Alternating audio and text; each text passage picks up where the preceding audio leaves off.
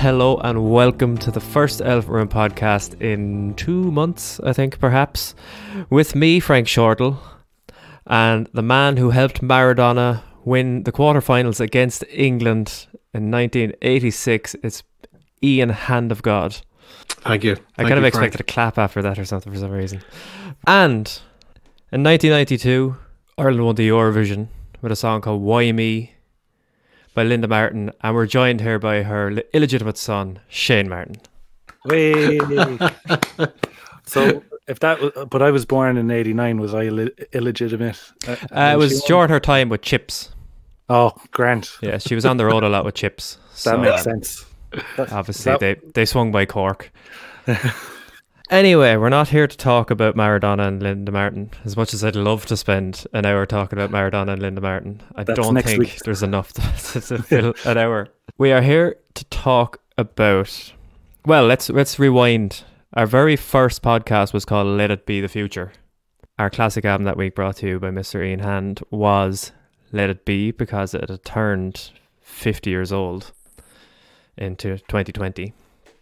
But now, fast forward to the future, and there's a brilliant three part Disney series that was released just last week. And we're so excited about it that we thought, fuck it, we'll come back and do a podcast literally just about it. So if you don't like the Beatles, switch off now because all you haters out there give out to us about just talking about the Beatles. We are literally just going to talk about the Beatles.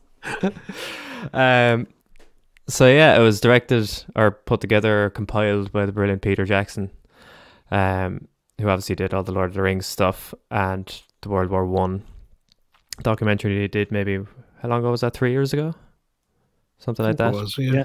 So yeah, if there's any man to take on fifty plus hours of footage, it's Peter Jackson, and um, I personally think he did a fucking unbelievable job because it's just over eight hours in total, and it's where to fucking begin with it? Like it's it completely flips on its head what we all thought happened in that time period.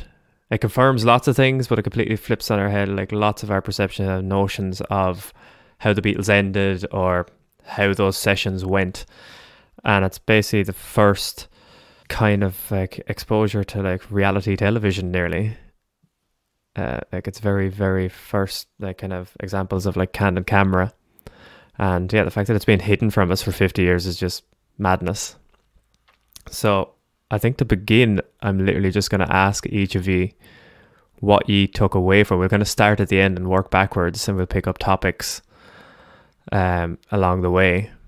But my overall impression was that kind of what I thought about that period is now completely altered because I was only hearing it from like books written by biographers, interviews with people who were biased, interviews by people who didn't remember it properly and just the mythology because it's so rolled in with the end of the Beatles that it's always just been the negative stuff that we found. So when you see them being happy and you see the dynamic of the band in person, which you just never ever see from any other time period in the band, um, that yeah, I've just been still haven't fully processed exactly how much of the Beatles we saw, and like I genuinely like missed them afterwards.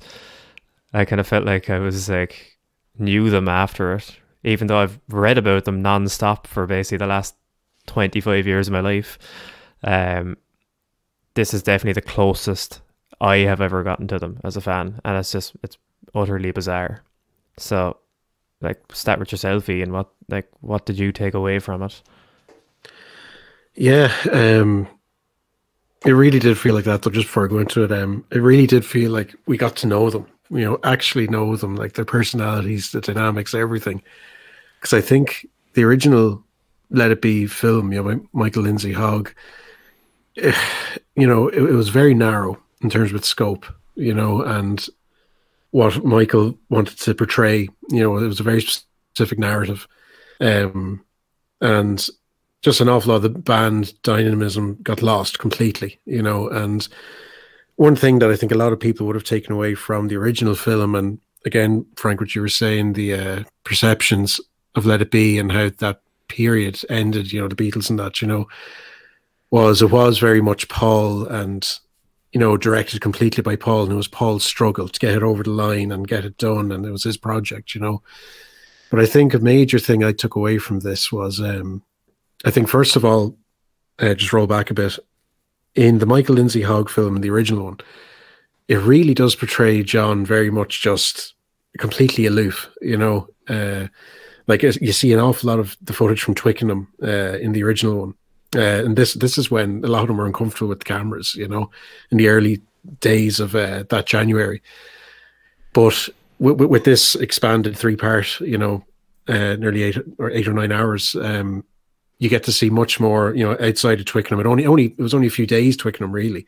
You know, they spent an awful lot in the studio getting ready for, you know, obviously the album and then the, the rooftop performance. But what re- a real impact for me was that how you saw that it, it, you know, it first started off maybe kind of being slightly, you know, produced by Paul at the start and him kind of dragging it along. But certainly at the start of part two, you really see John come into his own, you know, and really stand, you know, standing up there and having to say and say, listen, Paul, you know, it's not, it's basically not just you, you know, like it, it is us as well. And, you know, um, obviously sticks up for his own part in it and, and, and George as well, uh, and Ringo for that matter. But yeah, really for me, I think just to summarize, sorry, I'm rambling a bit, was that, uh, it very much showed the entire band effort of the whole project, you know, and not just Paul's project per se, you know, like it showed how they're all involved, especially from part two on, you know. I, I really liked that. You know, it, it basically showed what it was actually like, you know. Yeah. Just the actual truth of it.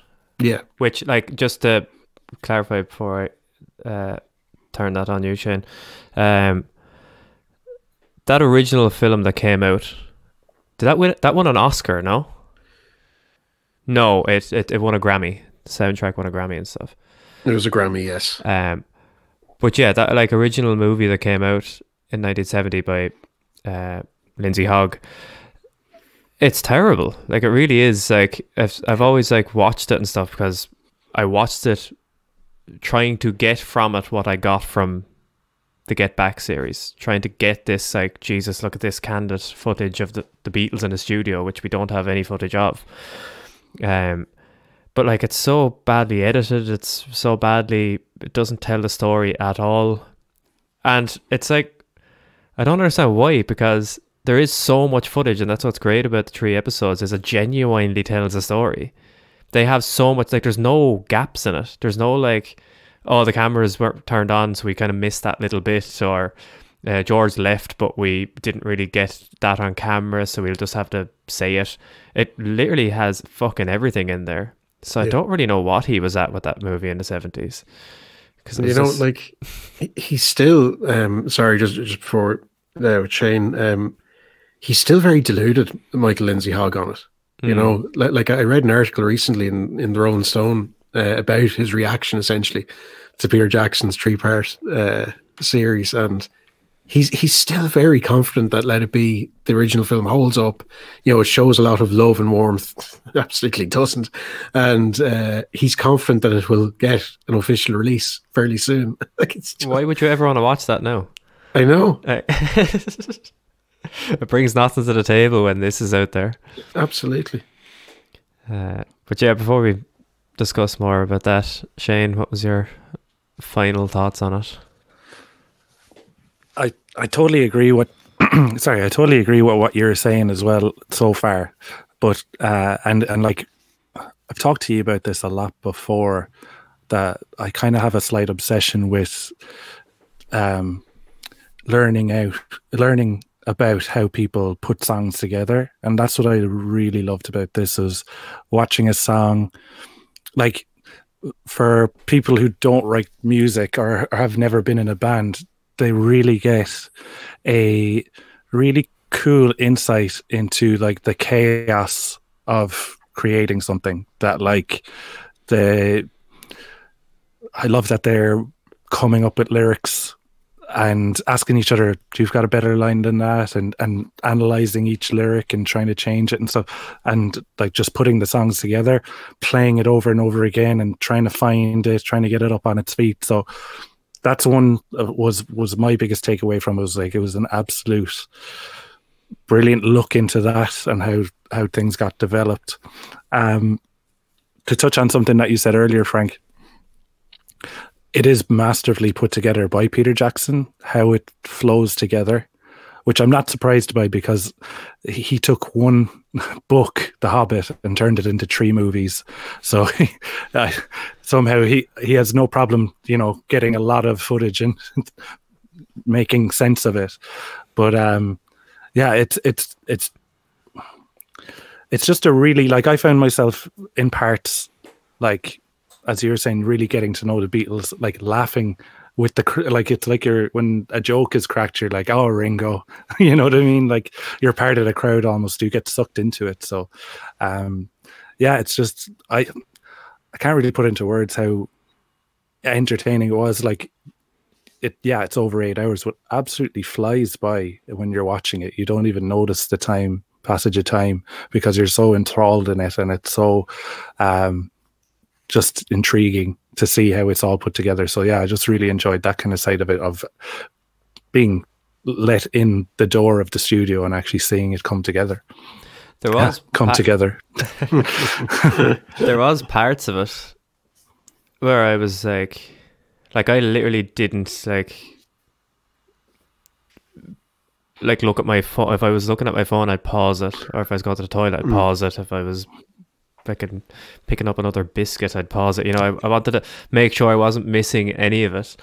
But there was parts of it where I was like sitting there glued to it, and I was thinking, I was like, if you're not a Beatles fan, this must actually be torture. Like this is, if this was any other band, this would be like, if someone showed me a documentary like about, I don't know, uh, Michael Jackson like that, maybe I I wouldn't be bothered really. Like it's it really is just the Beatles that garners that interest for me and possibly the world because they are such a big thing.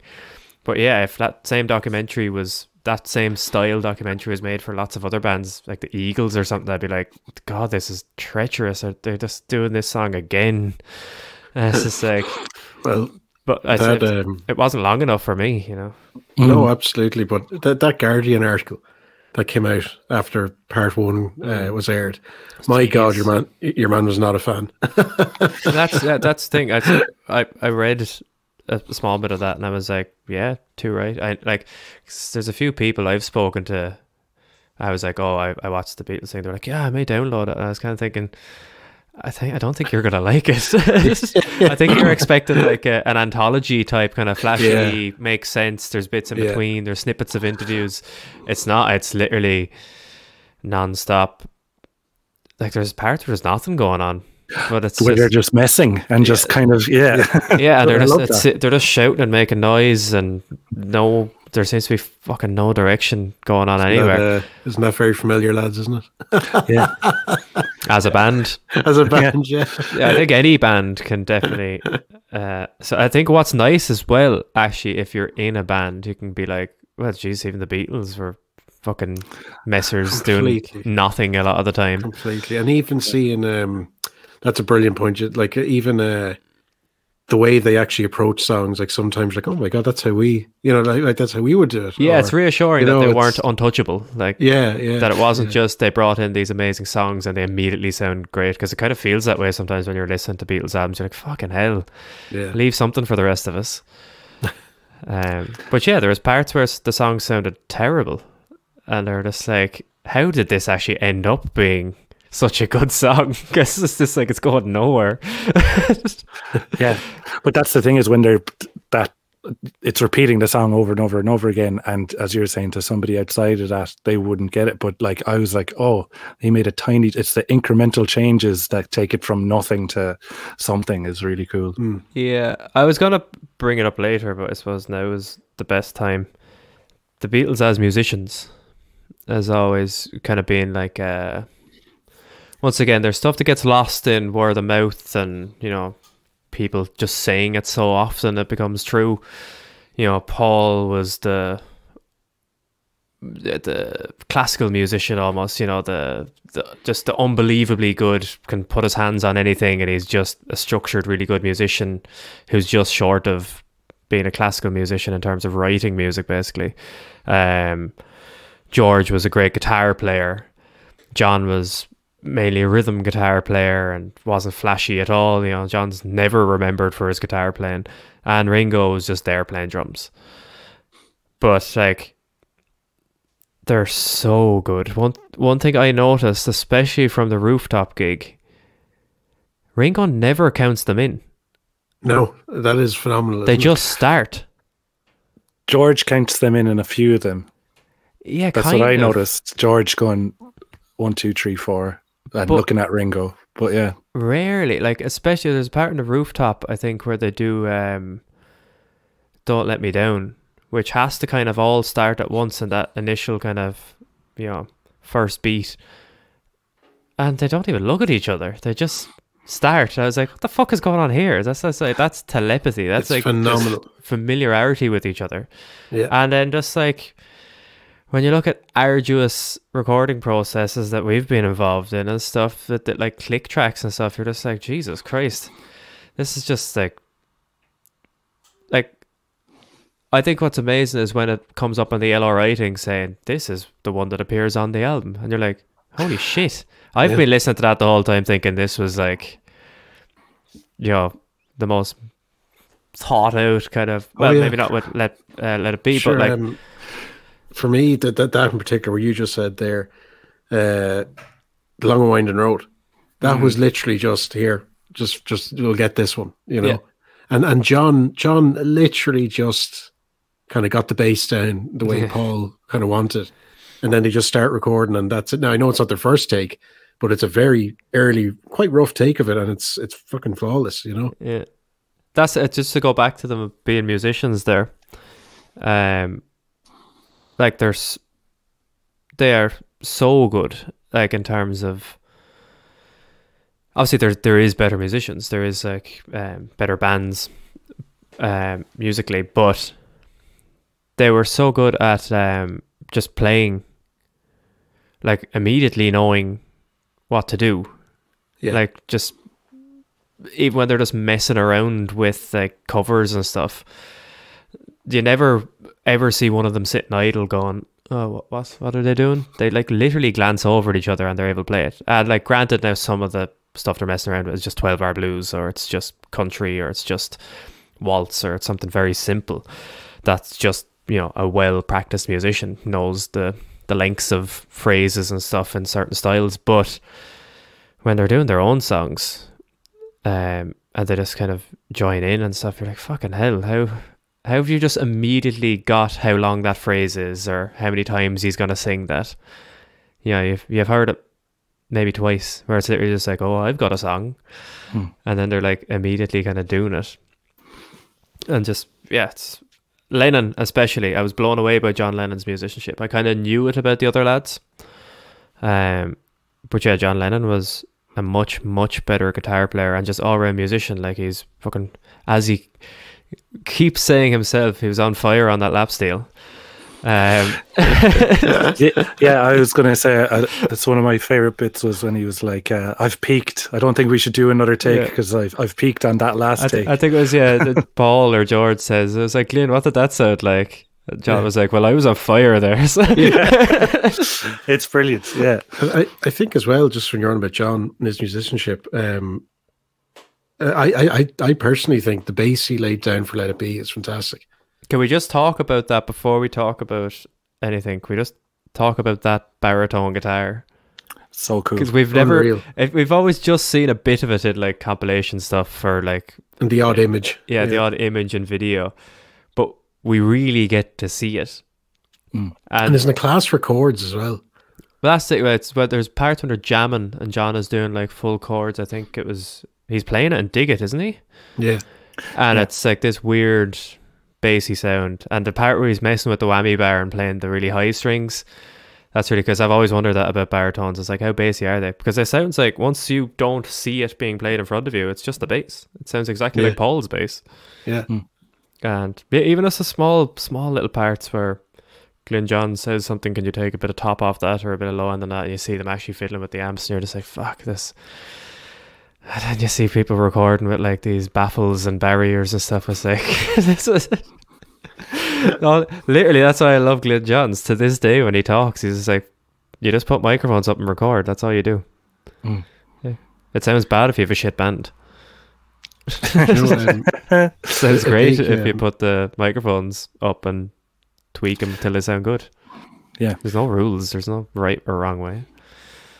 The big myth that was actually dispelled for me anyway um with the the footage was um you know uh, t- you know uh, two of us Mm. uh that for for a long time there's a lot of articles out there saying that George played the baritone guitar on it Yeah. he didn't No. It- it didn't feature on it he played the telly wasn't it Yeah. Mm. you know like that was great like I just yes you know that that shut them all up There know? just is no bass on that. Yeah. No, but Yeah. because it's quite bassy, I guess the tones he's playing, you know, like yeah. I mean, it's a very nerdy little like. uh, oh, he wasn't- wasn't using it. I don't know. There's loads of parts in it where it's like I've, I've always wondered who isn't on like how many songs Lennon didn't play on, say the White Album. Because I say there's a few on that yeah, where it's either a John or a George song, like Piggies. Does like does John do anything on Piggies or Savoy Truffle? Probably not. That you're always like, well, Ringo has to play drums on it, unless it's Paul doing it on like back in the USSR or something. Um, and then it's like, well, it's probably Paul playing bass on most things. So you'd be like, oh, if John has a song, it's like they come in and do the rhythm section. But then once it's a Paul song, did John just piss off or not turn up that day? But uh, yeah, I wondered that with a lot of the some of the songs on that. I was like, he was just as enthusiastic. Like he was, he was still as invested. Like I was expecting a lot more moments where Paul's playing a song and he's just like putting the guitar down or not putting much of an effort in. I never But knew he played the solo on Get Back. That was, that was actually news Yeah. to me.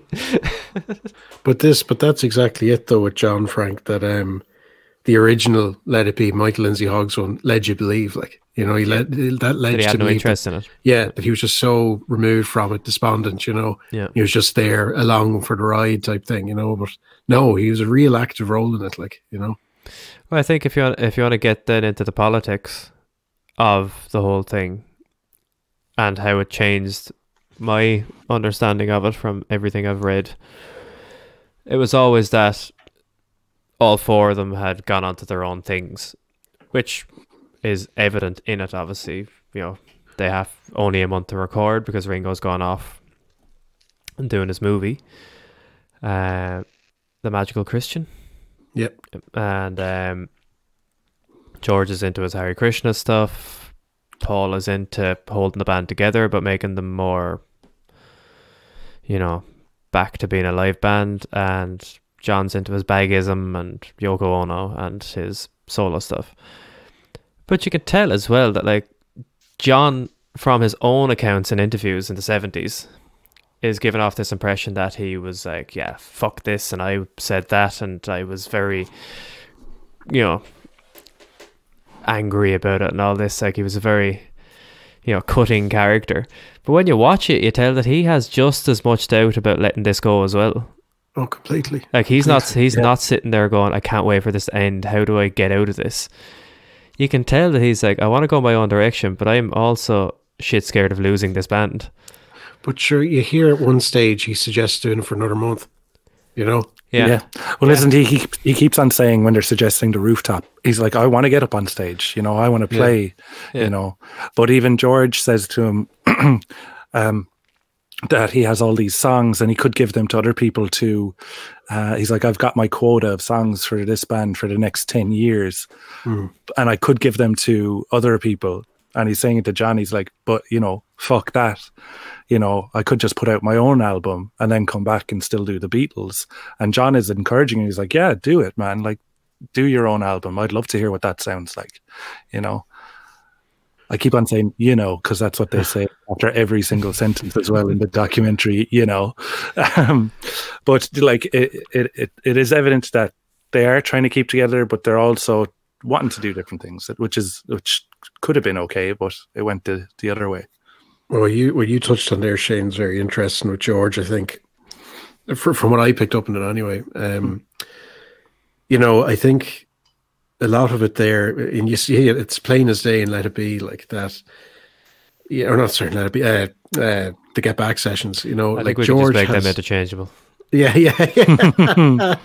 uh, like George has so much to give in terms of songs. Like songs are nearly absolutely ready to go. You know, just put a bit of drums and bass on them. Like, um, but you see it. Now, yeah, I suppose it's more evident in Twickenham before he leaves, and partly the reason why. But even in the latter days, you know, when he comes back, like into uh, the studio in Savile Row, and that, like, he has all these amazing songs. He'll jam out with them, and like he jams with John and that for one stage, but they're just never really. Uh, you know, like the rest of the lads never really go, oh well, let's let's have that down on the album. Let's take it on as Beatles songs. I think George very much felt like his songs are maybe being cast aside, and that was George in that conversation with John. He was kind of like, maybe I should just go and record them myself and You can- preserve the Beatles thing in terms of Mm. I'm not being allowed to bring much to the table here. you Once know? again, though, you can understand Paul, like Paul especially, was a businessman, and he understood that the Beatles brand was the two boys writing songs. Hmm. That's where they got famous. It was Lennon McCartney, so he was constantly trying to get back to that. Like he was constantly being like, "This, this is the Beatles thing. It's what people know and love, and it's our brand." So obviously, George bringing all these songs in was kind of, yeah, but it's it's, it's not the, it's not the, that's not the ingredients. You know, that's too much George for the recipe of the Beatles. yeah, Um, so I don't think he was being like, oh, "Fuck you, George." I think he was very being like, "We need to No. preserve this brand." yeah, but I think George just kind of resigned then. Oh, yeah, that. It was like, obviously. well, you know, Yeah. That George was trying to But break a- out of just being Yeah. the happy-go-lucky guitar player who got the song Yeah. every so often. yeah, There's a good moment as well, though, where they, I think they've done, I've got a feeling a million times, and um, they're like, "Will we do any more?" And uh, John does go, "Let's do one of George's." I, I've wanted to do one of George's all day. You know what I mean? And I think they start working Harrisongs. Harris songs. I love that phrase, the, the Harrisongs. But um, is it they do something? Um, they do a bit of something, and he's he's still struggling with the lyric. Uh, It attracts which me I- like a cauliflower. which and he keeps on saying it like, Pomegranate. like a moth to a candle is what he had there, and then, like while you're watching it, you feel like screaming, like no other lover. Just when's he going to say it? you know. Um, but uh, what I wanted to ask you, actually, just now, this occurred to me is like, uh, what was your favorite moment in it in in the the the series? If you could pick, if you had to pick one. Well, Um, I have my. Uh, if you give me a few seconds to get my notes, um, I have my favorite quotes. Okay. Um, I can I can instantly guess one anyway. So, uh, talk amongst yourselves there. Yeah, well, you know, I just I, I think for me it's not so much just one moment. I think for me the big one was certainly a part two. I think when John really stepped up and became a real voice for himself and the rest and the other two. You know what I mean? That he kind of brought it back to a, a, band project and not just this original or this initial vision by Paul, which of course it is. I'm not taking away from Paul with that, you know, but like Paul, like John, John calls Paul out himself actually, and that's one that that there you go. That's one of my favorite moments actually. That, that- there you go, Shane. Right, so it's when it's when John actually calls Paul out. He's like, "What's because John because Paul's you know he's he's going around in circles at one point, like giving out about something or the structure, and John goes, "Yeah, but like." You know what you don't like, and I'm paraphrasing here because I don't know quote for quote for quote, but he says what you know what you don't like is that this was initially essentially your your project now it's turned into a band thing and you don't like that and paul's like well yeah. You know like they're know, sitting at the piano. they're sitting Yeah. at the piano Yeah. exactly yeah Um, do you think that came from off the back of the conversation that was recorded in the cafe that did the the secret microphone in the plant when when Paul is like, you know, you're the boss. Uh, This has always been your band, and he's like, "Well, sometimes I'm the boss, and sometimes you're the boss." I think him saying that was No, him was- trying to get sympathy almost. Of course You know, it like, was. oh, Yeah. Of course. I'm I always really nothing. loved that. Yeah. Yeah. yeah, yeah. yeah, yeah. Damsel in distress. But there was almost. there was both of them. There was both of them trying to work each other to convince to, to convince the other one to go convince George to come back. I think what's fascinating about the whole you know. thing is if you want to take it on just their personal relationships, you'll go, oh, George is getting angry because he wasn't getting his songs. Paul wanted to manage the band since Epstein had died. He wanted to give them a work ethic and a structure, which he says in it, you know, it's a, it's a day-to-day work structure. That's what we should be doing Yeah. in a very passive-aggressive way, but he's sitting there. And then John is Casting like, aside poor George Martin as well at one stage. Yeah. Yeah, I'm talking to John here. Yeah, Uh, terrible.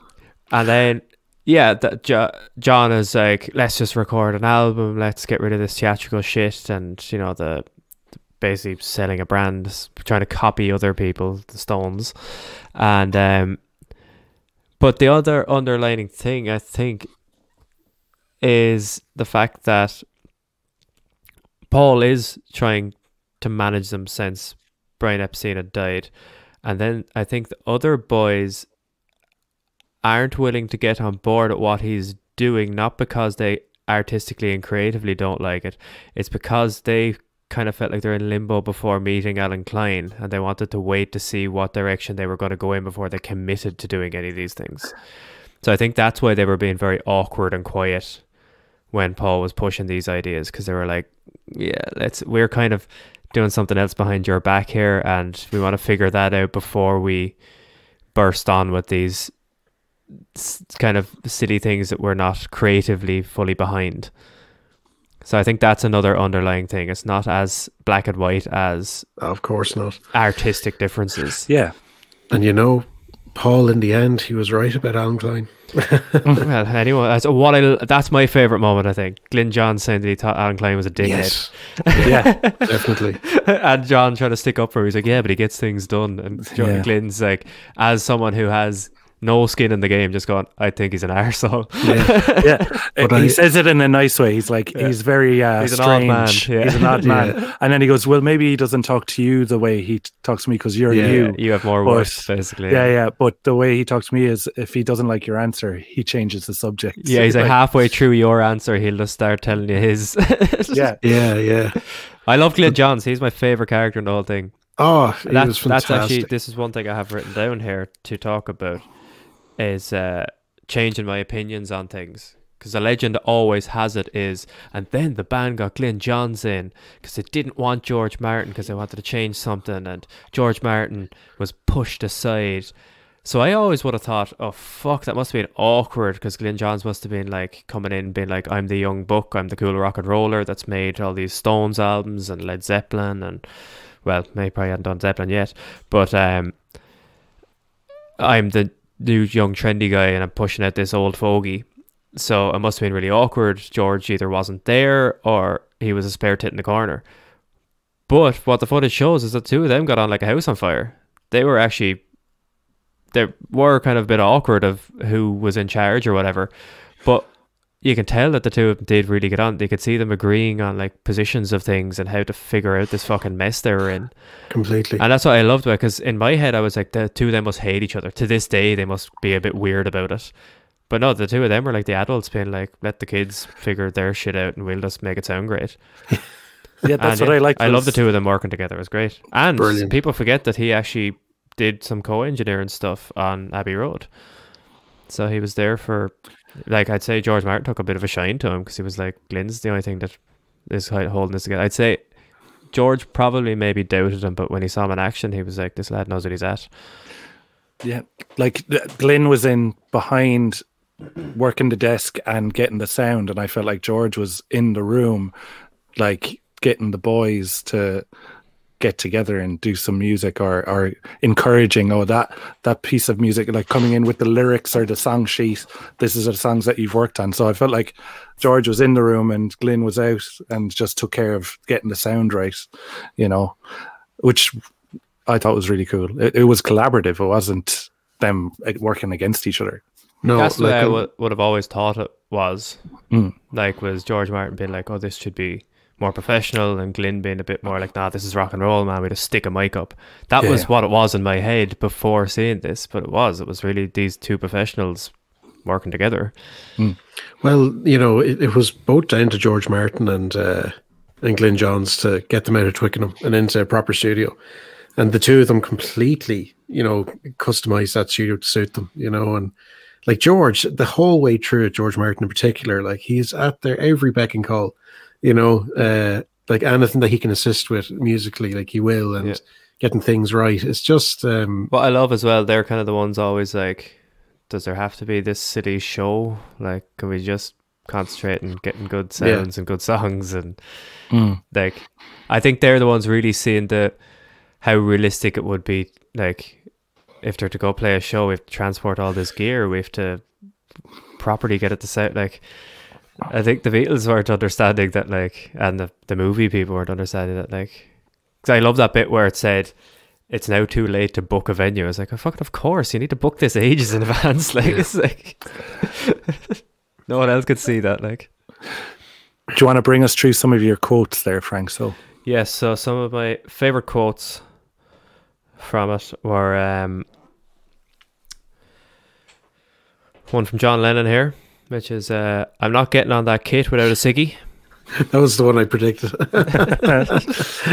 Uh, I'm gonna see if you can guess who said this one. I'll, I'll, I'll no, I won't. do- I'll do it. I won't do an impression. Uh, it woke me up from my sleep, and I don't like it. Ringo. Uh, no, it's the, Oh, the old Londoner one on the yeah, street. was fucking Oh, yeah. yeah, Uh, then one from Ringo here. It's uh, short and sweet. Uh, I've farted. yeah, George George Martin sitting beside him. Yeah, yeah. I think Uh, this is the idea. I did not ever think that that happened. That Ringo would just turn around, really relax, while Paul is making a very serious point about the gig, and just turn around to the most sophisticated man on earth and go, "I farted."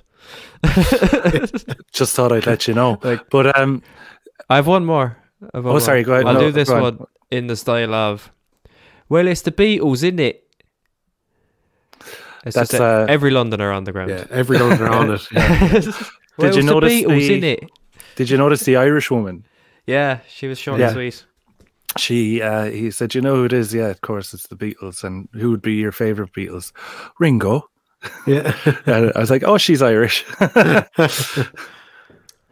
um, Frank, can I press you for a moment? I think it's the Yeah, Glyn it's a good Johns one. Uh, Yeah. Talking about Allen Klein, maybe just any Glyn Johns one. Because, Yeah, like, I always, obviously, I love him and his son, Ethan Johns. They've, between the two of them, they've basically produced, bar Mr. Eric Clapton, many of my favorite albums. um, I'd say it killed you to hear George praise Eric Clapton like that. Ah, he was young. It's before he got off with his wife. So and John corrects him and says, "Yeah, well, that's Eric Clapton. You're George Harrison. Like you're fucking George Harrison." yeah, you're better than that, dickhead. But I'll Yeah. still take him to Toronto with me Yeah. because there was no one else. Jimmy Page has started his new band, so I'll take Clapton. uh, yeah, I'm happy they didn't get him in. I think actually, let's before we finish the musicianship side of thing, Billy Preston. What a fucking Yeah, well, musician! Jesus Christ! I, I was going to bring that up next because I well, can I talk about my moment and then we can go into Billy Preston? Okay, yeah. Sorry, I thought you had said. Sorry. Sorry. No, no, I was We can- stuck. I was caught in the moment there. We can cut that and we. I was caught in my own I- moment. I was going to say mine, and then we can go into Billy Preston. Then, um, so my favorite uh, of the whole thing um, was Ringo showing George Octopus's Garden on the piano, and the how supportive George was and came over and started playing guitar with him, and and showing that these chords resolve each other much better if you play it this way and then you get back to the start and and Ringo then going oh yeah and they start working on it and yeah John comes in and they're like, "We're working on this song." He gets behind the kit before uh, Paul gets in there with his strong left arm and um, ruins it. Ruins the whole thing.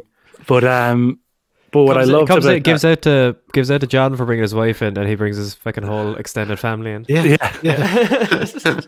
But what I loved about that is they they're like Ringo's getting a nose in, and George is leaps to his side straight away to because he knows what it's like and starts helping him.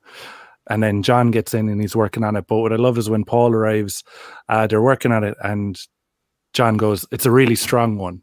He just says like it's a really strong one to to Paul, as if to say like we should work on this. Like let's not throw this one away. So that was my favorite. Just like Ringo getting getting his uh five minutes. Yeah, jo- well, George continued to help Ringo. He has songwriting credits on Photograph and stuff Yeah, as uh, right. solo stuff. So George has a George and Ringo are probably the best friends Yeah, I'd say so. in uh, throughout it. Um, yeah, I always kind of questioned John and George's relationship because in my head I was like, oh, they must be best mates, but they had quite a strained relationship forever because John Mm. has constantly thought of him as his his minor kind of uh, understudy. But yeah, it was nice to see them kind of getting along for most of it. Yeah, There's a really good moment with them when uh, Paul goes off for a meeting. There's like a lunchtime meeting, and uh, it's just uh, the three of them then jamming away. It's funny, Um, yeah. It's they're continuing to work on Paul's song. Yeah, Uh, yeah, Yeah, I I, could liked feel that. But Yeah. the, jo- hearing John singing it was yeah. He's really, he's really not good at singing it. That's what I was, I was like. no, not at all. Usually, at I'd all. be like, Lennon should sing all the songs because his voice is just so good. But when he starts singing, I got a feeling I was like, no, that's that's one that's just for McCartney. Yeah. Yeah. But sorry, Ian, yeah, you were saying No, no, but that, that that's it. That you know, Oh. you, you, well, I said it there. Like, Oh, sorry, I That- thought you were that- saying that- more. No, that that it was when when Paul went, you could see the relationship. You know, like, you know, You know, geez, that fucking fell flat in its face there. Jesus Christ. Can I give a, a bit of a, a background to Michael Lindsay Hogg? Oh Yes. God, go on. Um, no, this is, there's nothing. This is just a quite interesting bit. Um, so yeah, he he is an American guy who's from quite a, a well-to-do background, and uh, in the movie world. And then when he he moved to London, and he in 1965 started working on Ready Steady Go, which was like a early top of the Pops Old Grey whistle test sort of music thing. You know, like all those early videos of the Beatles and the Stones surrounded by people. Remember what they, they. That's what got him his his big land. Like, yeah. Um well, perhaps not for the for this gig. But um yeah, and then he went on to do, which I didn't know all this. He went on to he did paperback writer video, he did the Hey Jude video, he did the Rain video, and he did the Revolution video. So obviously that was him already working with the Beatles. But he also conceived and did the Rolling Stones Rock and Roll Circus and did the editing then on it in 96 when it got properly released. But that's, I imagine, why Paul originally wanted to bring him in. Like that, I think this whole thing was based around that rock and roll circus, in that Paul wanted more avenues for them to be getting out there because they weren't playing gigs, and he wanted them to play live and wanted to have this TV special and stuff like that. But yeah, that's who he is, and also he thought he was Orson Welles' son really? That it actually made sense for a very long time that he was Orson Welles' son because his mother was oh shit I can't remember her first name something Fitzgerald anyway and was in that world and hung around with Orson Welles and I think she even thought that Orson Welles was his dad Jesus. but then some biography some biographer worked it out that it wouldn't make any sense because she actually moved to Ireland a month after he would have been conceived or something. She would have technically been in Ireland when he would have been conceived, so it wouldn't have matched up. But there you go. That's Mr. Lindsay Hogg there. The piece of shit that brought us endless endless hours of footage. So let's talk about Billy Preston and how amazing a musician he is. Um, because I always thought that they asked him to join, but it's clear in the documentary that he was just dropping by to say hello Or, or am I getting that wrong? That he dropped by to say hello, and they're like, "Oh, we're working on a few numbers. Do you want to sit in?" I think perhaps George might have been in It was contact with him. George. It and was told, Him, George. told him to drop by and maybe jam a bit. Okay, that they might need extra keys on things. But I loved once again just being in a band and seeing that kind of still the awkwardness of like, oh, we've you know maybe a few songs if you Yeah. know, like, whereas that is was their really awkward way of like, please do this. yeah. as as soon as he joins in, and at this point you've heard them rehearsing different songs for Twickenham, or in Twickenham, and now they're in Apple. And as soon as he starts playing on the songs, you immediately go, "Oh, well, there it is. That was the missing ingredient. It Well, sounds Yeah. so good." You see Paul. You see Paul's reaction straight away. You know, it's fantastic. It's right there on camera. You know, it's just brilliant. Shit, he's Um, good. Yeah. Yeah, But, yeah. yeah, but it gets them all excited about the songs that they maybe have been like just playing into the ground. Now they're all like, "Oh, we can hear it now. This is going to be great." Did you just notice as well? Like they get so much tighter as well when Billy's there. Oh, time, yeah. You know, it's like we have to be in our best behavior, lads. Well, that's once again like you know, it's you have to be. It's even like if you're just sitting in a, a bar with all your friends, uh, and someone who's not as close comes in and starts talking. You know, you're a bit less loose. You're more, you know, structured with your conversation and stuff like that. So it's that sort of thing of just like, geez, we better get a shit together here because there's someone else who doesn't get our shenanigans. the way Paul talked about it in the anthology was um, that they were like a family and families fight. Um, but when a guest comes around to your house, you're on your best behavior and you don't, you put on your happy smiley faces for the guest, you know, and that's what he thought Billy was there good for, you know. I loved when um, Paul uh, at one stage he turns around to Billy and he goes, "Sir, like, do, do you mind coming in every day?" You know, and, and Billy like, "No, it's great. It's Yeah. good." Paul's He's like, oh, you're, I, sorry, you're, if you're probably just wondering, like, you're not even getting paid for this. yeah, yeah. The, the getting paid thing, I was like, They start What- talking what about about a football, contracts you know? and, but also that he says like, uh, Billy goes, no, I've got nothing else on. Yeah. Even though he's on TV the next day, which is great. Yeah. funny. They're talking about him quite early in Twickenham, where they talk about touring with Yeah. Ray Charles and stuff like George that. and that. Yeah, um, They do, but then they talk about somebody else for getting in for keyboards, and they're like, we could get a such and such a type, but they do mention Billy, and I think for me that's where George was like, right, I'll get onto him. I think he probably knew he was in London. I think that's why he was dropping in him in general, was because he they- knew he was going to be swinging by. like they knew him from Hamburg originally, wasn't it? Yeah, Yeah. yeah, he was in the, the club circuit in Hamburg. Yeah. Um, my favorite moment with Billy was when they're jamming on uh, uh, "I Want You, She's So Heavy," It's class, isn't it? And he's like, I had he's a like, dream. He like he jumps away from the keyboard, like starts clapping. He's like, this is fucking so cool. But what I, what I also find funny about it is he doesn't quite understand the vibe that John is going for. John, yeah. like, because that scale is so different. The like that is very different. Where Billy was like keeping a very traditional gospel blues whereas like John was like kept trying. He kept repeating it to kind of get Billy to play it on the keys the way he wanted it. That kind of darker, more yeah, kind of seedier kind of sound that is on it. But he actually plays on it. Um, Abbey Road, the first song on Abbey Road that they started recording was in February, uh, February twenty second, only literally a few weeks after the Get Back sessions ended, and they got Billy to play keyboards on uh, "I Want You" and something, and that was his contribution to Abbey Road.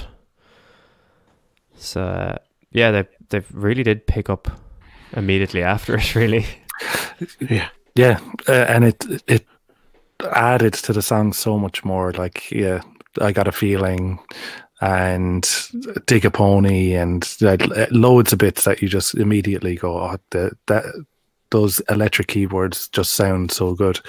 But it was- Um, I love yeah. that, especially I got a feeling because I think uh, I think at one stage Paul is, is kind of describing to Billy what he wants, and straight away he does it, and Paul's like, "Yeah, yeah, I don't need to say anything else." Yeah.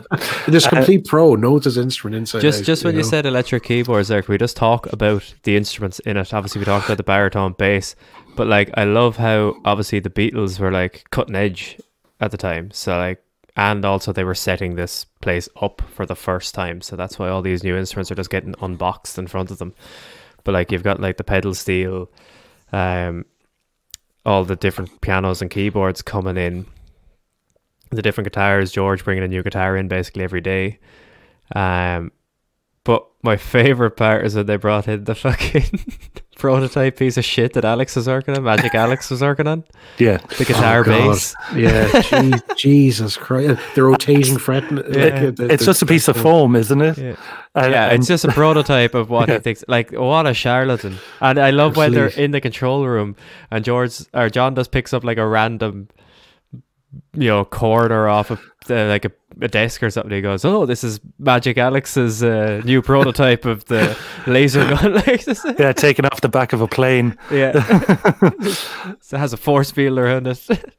I, I just love how George completely calls him out. Like, you know, George Martin, like, you know, oh yeah, like, uh, and, and with the absolute shambles he made uh, studio. with the studios, you know. he was in there for months, possibly even Yeah. a year doing that, and he hadn't a fucking clue what he was at.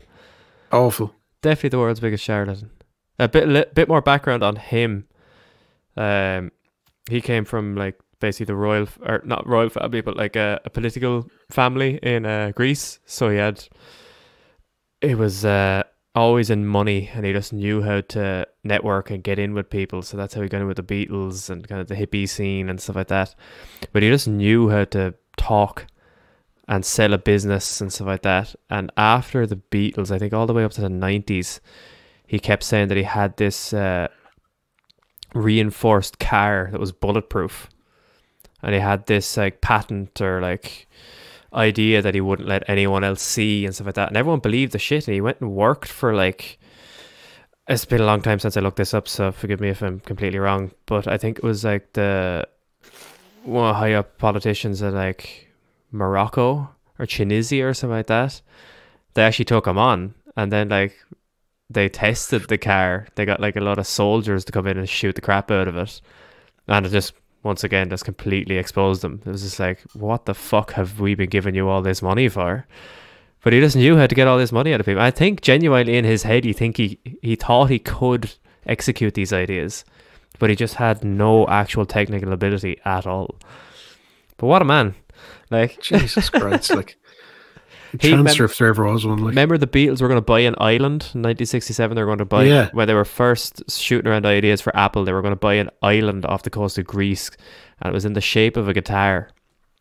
yeah. But the reason they got in there to negotiations to try buy that island was through Magic Alex and his his dad was very high up in politics. He was like a, an associate or an advisor to uh, politicians in Greece. But yeah, what a fucking chancer. Complete. Uh, it's- I I loved any mention of him in it. It was great, especially like, uh, George Martin. on the opposite scale of like technology, then they also had the they had put together two of the EMI desks to have it be a 16 eight track, track. eight track, It's- two it's four two track. four tracks. Yeah. They're yeah. the the the EMI REDD. It's like R E D D is the name of the mixing console. So they had two of those put together. I think it's like Red 15 or Red 37, and feeding that into George's borrowed um, 10 grand piece of equipment, the tape tape machine that he had. Um, that was like their their studio, but that was the the cool like other side that they actually had. That was the best technology you could have for recording, and then on the opposite end of the scale, like I um, love how quickly they got it all together. Like that's Yeah, like in. John's like all those wires and like that's that's another level of how good he is. Like Uh, yeah, and even when they're doing the show on the roof, that they are recording it down in the basement. Yeah. Like, how that was, do that, was do- that was done on a Oh, whim. cables. Like that's Yeah. fantastic. And to some of those And, are the uh, finished recordings in terms of singles and B sides and Yeah. like one after nine on nine and um like I'm finding how Ian, you might know this, but I was listening to like the Blue album and stuff. Yeah. And Get Back fades out. I think that's taken from the roof. Yeah, that's right. Yeah. And Don't Let Me Down, I think, on the Blue album is also taken from the roof. Yeah. It's amazing. Um, and you know what also actually uh, occurred to me as well? Uh, how much um, some of the rooftop performances, uh, the, the, the one that made onto uh, that made it onto actual Let It Be, the album, how much it's spliced. Uh, you know, and then not as in the performance, but you know, like the the banter afterwards and the claps and all that. Oh, you yeah, know. yeah, yeah. Yo, thanks, Mo.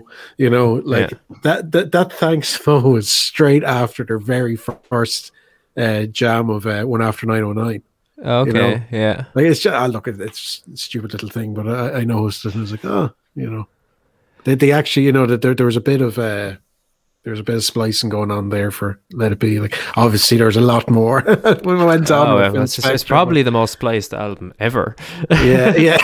in terms of being a like a big, big album. It's probably one of the most chopped up and manipulated and worked on albums of all time. One thing I wanted to talk about, mo- mo- moving away from the music and more into the uh, the the how the Beatles day to day functioned. Can we talk a little bit about uh, Mal, their road manager? Hmm. Is it Mal Evans? Mal Evans, yeah. Mal Evans, who is basically uh, he's their road manager, but I would call him here their fixer. You know Yeah. what I mean? Like Mal, can I get another box of cigarettes? You know, George Yeah. Mal, can you go out to the shops and get me a, a tie, a black tie like cowboys wear? You know, and he just does it. He gets it. But um, there's one bit in it where George is left, and they kind of play a little bit, and then the, you can see Ringo's upset, and he wants to go to George's house, and he goes up to Mal. He's like, Mal, do you have any pep pills? You know, literally anything they wanted, Mal got. You know, Yeah, well, Mal Evans and um, Derek Taylor were old friends from Liverpool Mm. who had basically roadied and stuff. So they kind of just found space for their mates and they were constantly there from the very beginning. Like, there was just part of the original crew.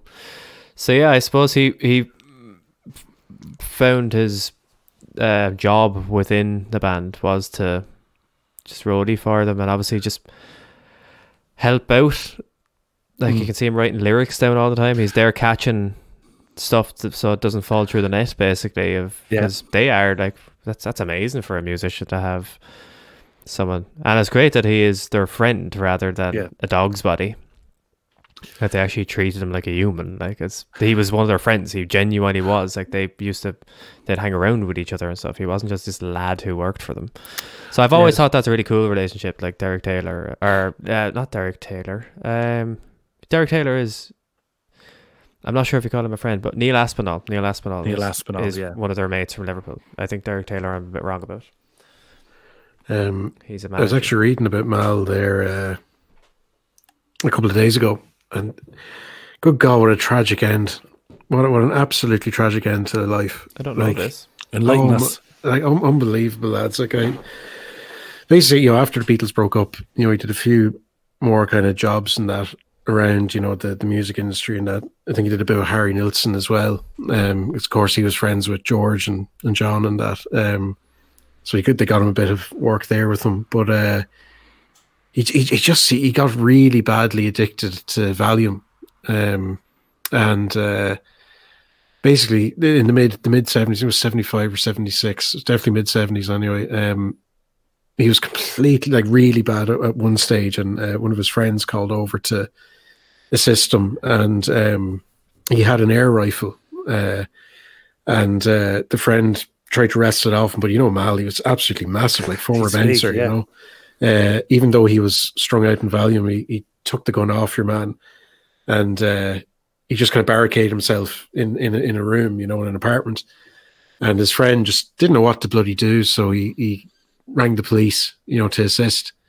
And the police came up and saw that Mal had a gun, and Mal was pointing the gun at them, you know. And the police at the time didn't know it was just an air rifle; they thought it was an actual proper, you know, rifle. And um, they fired six shots. Uh, four of them went into him and killed him. Actually, yeah. As soon as you mentioned gun, I remembered. That's a fucking Like, tragic story. Yeah. Fucking tragic. Mm. But one thing that sorry, that just I know it's a very tragic tale, but one very nice thing that I read when um you know when he when he died and all that, and when his affairs were trying to be set in order, like you know uh, his family and that, and uh, inheritance and all that, it was found out that um he didn't have a proper uh, pension, uh, you know, out of his work with the Beatles and all that. He, so, so something something went awry anyway. But uh, George Harrison uh, personally went out of his way to uh, put up five thousand pounds uh, to his wife, to Mal's wife. Now five thousand back then would have been you would have been a large, large sum of money, you know. But uh, anyway, look, I know it's it's a very tragic thing to bring up, but yeah, I, uh, Yeah, I I- remember. I think I actually looked that up when watching the anthology yeah, and wondering why it was just Neil Aspinall talking on it and not Mal. Yeah. Yeah, it's, it's. I didn't know the part about George. That's pretty cool. George is. Yeah, it's it's very cool now, you know. That that I almost feel bad that I brought him up. that was so tragic, but um, Oh no, Yeah, I was thinking like, the same thing. I was like- hero though. You know? yeah, but that's what I'm saying is I can't. That's what I was thinking while I was watching it. Similar to what you just said there, Frank. Is I was like, oh, I wonder. I'd love to hear the stories from Mal. You know, the things Yeah. that he's seen, and Mm. you know, um, but yeah, Can we move on to something that uh, is very controversial? I have a, I have an opinion that's very controversial. okay. I'm looking forward to That, this. that you're all going to disagree with, I think. the rooftop gig. I have always, and the main seeing it now so documented in uh, Get Back. I don't like it. I don't like the rooftop gig. Well, the one the, the one thing I will say that I don't like about the rooftop gig is that they only play, you know, three or four numbers and they repeat them. You know, Yeah, I think it's weak. I just think, like, I'm kind of on Paul's side in terms of I wanted the big gig, not in his ridiculous head of like having it down in fucking north of Primrose Africa Hill. or Primrose Hill or TV special or anything like that. But I would have liked to have seen them play Albert Hall or you know somewhere, or even just on the street or something like that. I think just it kind of reaffirms it when they're talking to the fans. It's like, oh, Beatles, isn't it? But where the fuck are they? You know, I can't. It would have been nice if we could see them. And it is just kind of an anti-climax, not an anti-climax, but it's just like it's not as cool as we all think it is. In my head, anyway, I just always thought it's a bit of a downer after such. It's iconic, obviously. It's absolutely iconic, but as you said, it's they're repeating the songs over and over again, and um, yeah, like I would have rathered like I think what Paul wanted is this like absolute stop the world the Beatles are playing. That's it. Like, because you know, obviously Paul's uh, Paul's big tracks and Let It Be, he couldn't play up in the roof. You didn't have the piano. Yeah. You know, and I Me Mine, even though it was to be recorded a day or two later, it wasn't fully finished at that point. You know, um, But like yeah, for me, I think what would have made it better is if they'd, and obviously this is the time and the place and everything. If they'd played some of their old songs, like it would have been like if Oh, they'd if they'd yeah. really made a spectacle out of it. Like I think it could have been so much cooler. Like it could have been like I think the people down on the street are going, yeah, the new songs sound nice, but if they'd fucking ripped into a 1969 version of "I Want to Hold Your Hand" or what I loved George brought up in Twickenham when they were at the very very beginning was uh, "Every Little Thing." that was class. That was really I didn't I didn't know that at all. I was like when he just starts playing the riff to that, I was like, yeah, George, fucking drive that one home. Get a fucking sixty nine version of that going. Um, but yeah, I don't know. I think I've always just been a bit, I it's you know afraid to. You know, once everybody seems to think something is great, you're kind of sitting there going, "I don't think it's that great." Well, yeah, like what really, um, yeah, what annoys me, it probably shouldn't really be called a rooftop gig at all because it wasn't really a gig. You know, they didn't have a proper set There's list a or promo anything. video. It was, it, oh, you hit it nail. It's a promo Yeah. thing because they keep on repeating the tracks because they know it's been filmed, they know it's been recorded by Glyn down Yeah. the basement. It's not a gig, uh, you know. No, but I think that's. I think it could have been. Uh, that's what I'm saying. I think it's the idea of "Stop the World" the Beatles are playing nearly happened, and people did stop at their tracks and go, "What the fuck? This is the Beatles' new album."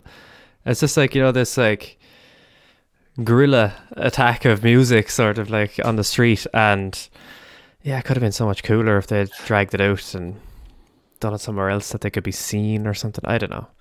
Obviously, given the the circumstances like that, they weren't going to get anyone to agree to playing at a venue and the organization of it, and George was never going to be involved or invested in that.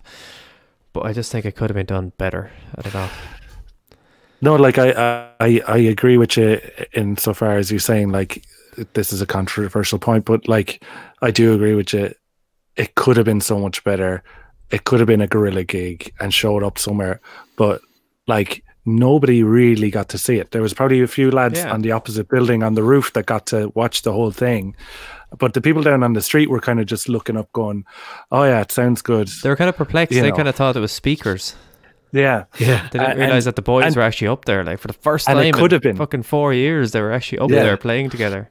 and you know, for the people down on the street, it may as well have been sp- speakers playing Yeah. it up because they're not getting. But to I think see it, the would have even been a bit more exciting for them if they had played a Older song- songs. an older Yeah. song or so, just to be like, we are the Beatles and we're we're back here. You know, we're Yeah. giving you this little bit of heaven here for a moment. But yeah, I don't know. I just always thought it was a bit of an anticlimax, and now seeing Mm. how it really played out with how many times they played the songs over, I was like, mm. and every time I watch it, I always get that bit sad, going, "This it's over now, isn't it?" Yeah. Yeah, it was just it was just purely a promo thing, you know. Yeah, it was it was like the the paperback writer video or something like that. It was a promo video for that just never properly got finished. But uh, yeah, I think we can start to wrap up here because Yeah, we've just going been to say. we've been going at it now for a while. Yeah. Um, Oh, but guys, Abbey Road.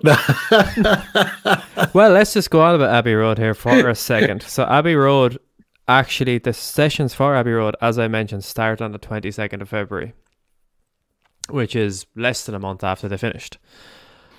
And um, obviously, they went on then to the end of August. The twentieth of August was the last Yes. time all four of them were in the studio together, and that's when they were finishing up random overdubs for the medley. But um, yeah, a lot of the songs were used on that, and it is a bit mad to think how they went from being so loose and back to our roots and four lads in a room, five lads in a room with Billy. Um, how they wrangled it all together to make this phenomenal studio album. So I think that sometimes we do think from the original 1970s Let It Let It Be film and from Get Back that we do feel like the Beatles finished. They got down off that roof and they never saw each other again. But um, yeah, they went on to make like you hear a lot of the songs. You're that off awful Maxwell Silver Hammer. You hear something. You hear I want you. She's so heavy. Oh darling. All these they all went on to be that album. So I think what we also need to remember is that like they didn't like kiss, make up, make an album, and agree that they were going to call it a day. It's, it's the same. If anything, the pettiness got even worse during the, the Abbey Road sessions. yeah, I'm Like- sure there were whole songs that they mightn't have seen each other, you know. Yeah, it was a bit more like the White Album, Yeah. but I think they were s- all still there till the end, knowing that it was going to be the end. Um, Oh, sure. George was completely off it then, anyway. You know, doing all Yeah. things must pass, and uh, John working on Plastic Ono Band. You know, Yeah, exactly. It was definitely uh they all were filling out a contract almost with finishing Abbey Road. But fucking what a way to go out. Like um one of the best albums ever made, I suppose. And now, right now, as we speak, their most popular album, um, in terms of the digital age, is uh, Abbey Road, which I think is quite interesting. But um, yeah, I think the best way to end it, we'll do a room recommends. Insert Ian's tagline here. The Elephant Room recommends. and we're back. Um, yeah, just to finish it for, uh, we'll do a get back room recommends with uh, a song. I think that each of us maybe found a newfound love for, or never liked before, and now do like, or a song maybe we never heard before, or something like that. Um, for me, it is the George Harr, the Harrisongs. Um, Old Brown Shoe and For You Blue. I loved the idea of putting the newspaper in the piano. I never knew that. Good old George Martin. Uh, yeah, once again, George Martin. How do I make it sound like a broken crap piano? Glyn, how do I do that? And then George just comes in and does it. Um, I never like I'd always listen to that. I thought it was like muted guitar strings, but if you listen to it through headphones, you can clearly can hear the fucking words on the newspaper. Nearly like, Yeah. um, yeah. So all the George Harrison songs, they were so. I've always just kind of not written them off as I'm saying they're like, they're songs on Beatles albums that I love and sing along to and stuff when they come on, but they're just they always they were just there kind of. But after watching it, I was like, and because I think you're on George's side so much through the whole thing that you're like, yeah, fucking play George's songs there. They're really good because you're there going, he hasn't finished. He just played a finished song for you, and you two boys are cobbling together trying to get something. Um, yeah, does I me I me mine is a fucking masterpiece, and uh, but I think especially Old Brown Shoe, obviously that is uh an Abbey Road outtake when you listen to the actual recording because it has that big like mad noisy guitar solo in it.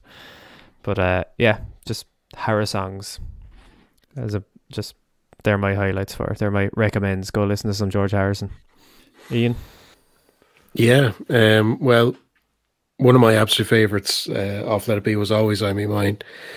Um, and it's fantastic to see uh, the genesis of them, you know, and I Me Mine in particular, the session, like with himself and Ringo working it out, the very early session in Twickenham. And, uh, you know, when uh, John and Yoko are waltzing to it, you know, dancing, like just knowing the the time uh, signature changes. You know, Ringo's so on Yeah. point with that, isn't he? You know, it's unbelievable. Just when we were on about musicianship, you know. Um, yeah, even even Ringo's playing on uh, For You Blue. Yeah, Just takes out the brushes and just It's goes, "This is a country song, so it needs to be, you know, the country shuffle." yeah. And Yeah, just it's just flawless. Or as uh, George called it, uh, pirate skiffle. Yeah. Yeah, Did that sound good enough? I was like, that sounds good enough for skiffle. yeah, yeah. but with the with with the slide, it's the pirate. That's pi- it. John is amazing on that as well. Yeah. Absolutely, yeah. Uh, Shane. But Oh, sorry. no, no, no. Sorry, Finish no, up. Finish up. Sorry. no. no, I said I mean mine was already an established favorite of mine. Uh, now, the the so I suppose it's more songs rather than song. So kind of use it Harrisongs and the ones that I've found. Now I already had an appreciation for them anyway, you know, and I know you'll call them granny music, uh, Frank, but uh, but one thing in particular I really really took away from the Get Back sessions because you're actually seeing it evolve and you're seeing John do it is John's bass playing on the baritone. I think it's absolutely brilliant. Like for Let It Be, the song Let It Be itself, it's it's it's it's it's it would rival Paul, you know, how he's playing it. You know, he's absolutely on point, you know, the little runs and everything. He's just brilliant on it. Um, and even Let It Be, I actually or not Let It Be, Long Winding Road, I do actually like it um because you can see it that John has an idea of how it should go with the bass. And Paul is like, no, no, no, no, it should be pared back even more. You should only do absolute bare root notes. Single but notes, John yeah. is like, no, no, I think there should be just a little bit more there. And I tend to agree with what John wanted to do originally. And the cut that we get uh, on Let It Be is a halfway house between what John wanted to do on bass and what Paul wanted. And that's why it sounds half finished, you know. Mm. Whereas if John was allowed to do what he wanted, like uh, uh, because you hear it on the early takes and on Get Back, it actually sounds great. I thought I thought it would have you know would have sounded a lot better, especially on the um, the stripped back versions. You know, the Glyn Johns uh, recording of it, uh, and even the naked version uh, on Paul McCartney's Naked that was released in the early 2000s. If they had have had a, a pristine version of an early Long and Winding Road with John's original bass, it would have been great. But anyway, look, we were left with this halfway house. But sorry, just to just to summarize, J- John's bass playing I thought was just brilliant. And uh, just before Shane goes there, next week we will be doing uh, Phil Spector's mixes. We've been a full episode on Phil Spector's uh, ruination of it. anyway, Shane, what, what would be your uh, recommends. Well, you've you've covered everything that I, I was going to say. Like, there, there's not much more for me to say. Like, I was going to say, uh, for, for you, Blue is the song that I've listened to the most. Um, like on my commutes to work in the morning after watching it in, in the evening. You know, um, and like yeah, I, I, I there's not much more for me to say other than that. Like, I really like it makes you from watching it all from its inception to then going and listening to it. It really makes you appreciate it a whole lot more. Um, and yeah, even just like listening to, uh, I got a feeling. One thing that I really like because a lot of the time, from a bass player's point of view, a lot of time you if you look at Beatles songs, the bass for it, it's like so complex and and interesting. And what I loved about the bass and I got a feeling is literally it's one note held the whole way through with a few little doodle doo doo doo and then back to the note, you know. Um, so that like just th- that uh, two of us has always been one of my favorites, and seeing them work that out in in the Scottish series. accents. Scottish accents. You get so many versions. You get a slow, Yeah. You know? so you get this a slow version, a Scottish ver- version. You have a True Your Teeth version, like a, almost like a ventriloquist version. John was Um, brilliant at that. Paul Penny, you could see his mouth moving, but John was brilliant. Um, Can do we they do? just say this? is- Was anyone else a bit disappointed that they rushed through the last few days?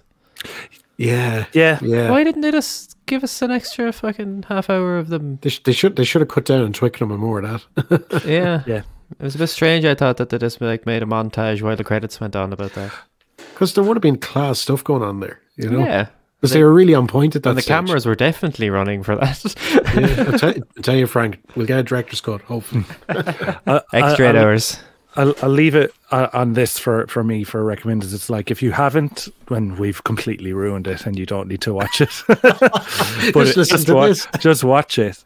Um, like I, there's so many moments in it that I loved of like George coming in when he's talking about I me mine and he says I, I wrote this last night because I did you see what was on telly last night and I got that idea from the waltz from like the Russian ballroom dancing Yeah. and- Talking about the sci-fi movie and a stuff. sci- yeah, sci-fi Yeah. movie followed by Russian waltzing, and he was like, "Yeah, I've got an idea for a song." And um, because I wanted to say it earlier,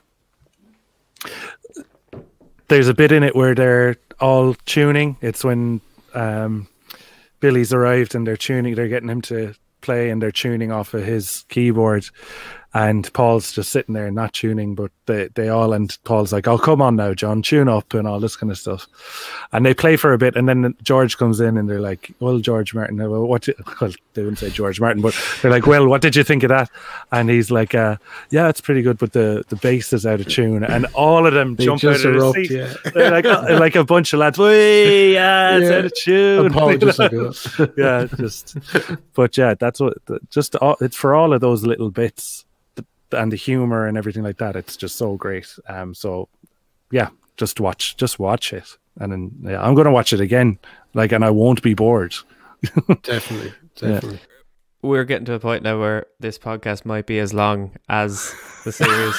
so we'll uh, This definitely doesn't have the re the re-listenability of the rewatchability of Let It Be, but uh, yeah, I think I'll just finish it with uh, us kind of say we just did this because we're fans.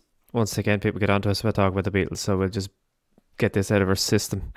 it's probably in no way interesting. We're literally just doing this for the crack. I'm not even going to fucking edit this. I'm just going to lob it up and Absolutely. let uh, people listen to our opinions on it because we are we're very big fans. Mm. And uh, yeah, we'll be back with a Christmas episode. We'll do some promo for what's coming up. We're gonna do a Christmas episode because we did one last year. Um, I'm already gonna start out and say it's not gonna be as good as the one last year because how much can Yeah. you say about Christmas really? But it will still be good. So listen, or maybe go and listen to last year's one because last year's one was really good. Uh, but maybe maybe it'll be better. Maybe who knows? It depends what you're into. Probably won't. Uh, I'm gonna drop some knowledge about stuff that's kind of vaguely related to Christmas. So if you if you don't really like Christmas, listen to our next week's Christmas episode. And uh, if anyone wants to send us Christmas presents, please do, because it's nice to get them. And uh, just trying to scrounge things. up. It sounded so sad. please, please Yes, no, I'm just give- trying. To, I just trying to get free shit off people here. Come on, give, give Candly to the poor boy. give kindly.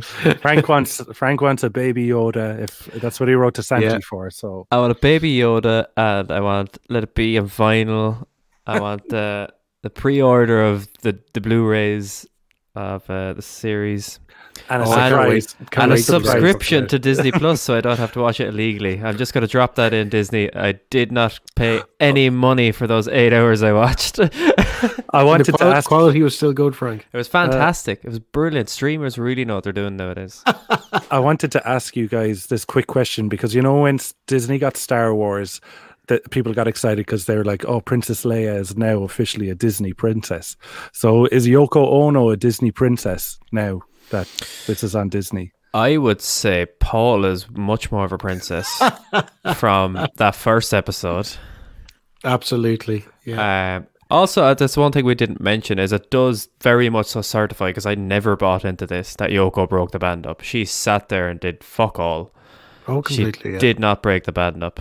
I. I love when Paul at the very end of the third episode actually says something like he he like loses the run of himself and says something. Oh, we're gonna need to find out that Yoko, aren't we? And then she gives him no reaction back, and he's kind of like, "Oh shit, I shouldn't have said anything to her. She doesn't like me." did, did you see actually? Um, both Yoko and Linda actually they they, they got a good few were, conversations. they were having the like, you know. chats. Yeah, Yeah, it was nice to see that. it was probably just niceties, but uh, yeah, but still, you know, Yeah. It was just weird kind of seeing Linda uh, in general. yeah, You don't really see much of her uh, ever in footage from that era. We always see Yoko. Yeah, it was weird to see her there. Maureen, actually, this is what I want to say. Maureen looks like great crack. yeah. Just out of all Yeah. the wives that popped by, Maureen looks like, yeah, she looks like a keeper, even though Ringo didn't, but keeper. But um, She was definitely up for the crack, all right. oh, she was Re- like, really getting into it. yeah, back in the control room, just fucking rocking out to get Yeah, that's right. It's like she's just no her herself and Ringo must have been great crack to hang around with. All the others are too moody. anyway, we'll leave it there. Maureen Starkey. a legend. A highlight for me.